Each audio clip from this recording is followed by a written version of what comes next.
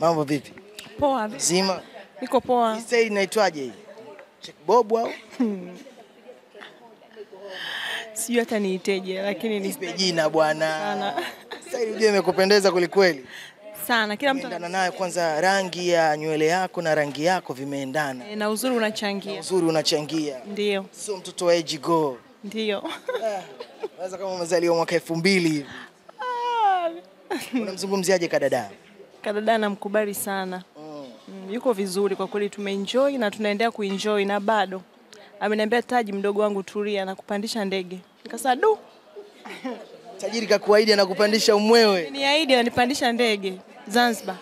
Zanzibari. Yeah. Anakuambia unapanda umwewe, ameniambia lazima uenjoy. lazima ufurahi, Yeah, lazima ufly. Lazima ujue uwepo wa GSM. Eh, ndio hivyo. Ah, nashukuru sana. Waitwa nani? Naitwa Taji Nurdin, dada yake Mariam Mataka. Dada yake Mariam Mataka, Taji Nurdin. Bwana, ni baadhi tu ya wageni waalikwa ambao wako hapa.